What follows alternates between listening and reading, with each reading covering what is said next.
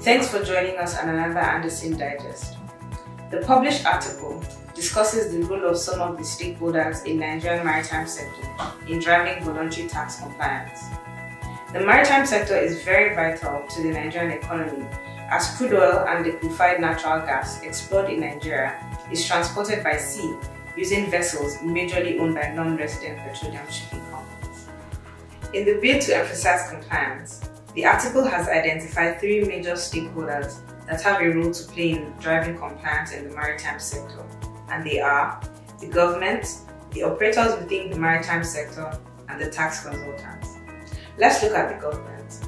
The government playing its role in compliance attempts to provide more clarity on tax compliance obligations for non-resident shipping companies in the maritime sector.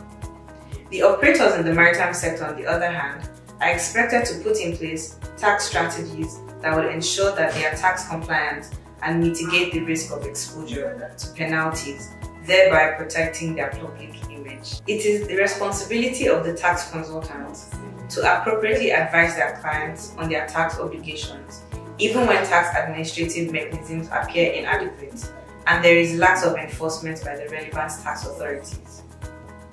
In conclusion, the focus should be on removing distortions from the tax system that make artificial behavior worthwhile and necessary for commercial purposes, therefore improving techniques used by law to place legitimate limits on these activities. To read more on our articles, please visit our website and subscribe using the button below. Thank you.